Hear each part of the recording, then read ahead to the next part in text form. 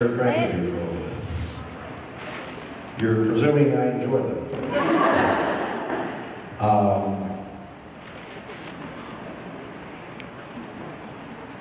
Well, I can think of some I didn't like, but uh, favorite, favorite, favorite. You know, contrary to popular opinion, we sometimes just act on the show. Um, We're not always pulling I'm trying to remember the last one. I mean, okay, I've told the story about in um, Dream a Little Dream of Me where Bobby was in a hospital bed and, and uh, uh, Jared was twisting my toes while I was trying to do my mom. I've told that story. Well, you may recall in Death's Door that Bobby was in a hospital bed.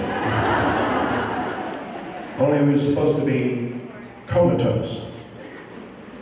And being comatose with your toes being snapped off is really hard.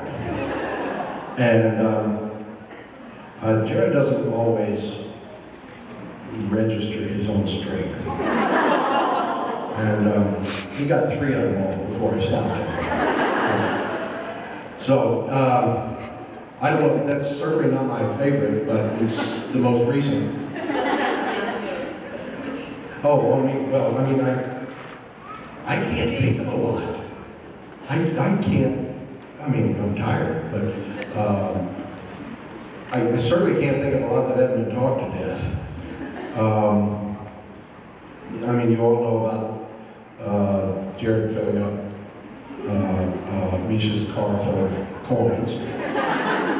You know, it's not like we got secret ones we haven't told you. Um, ugh, dull answer. I'm sorry. Thank you. Mhm.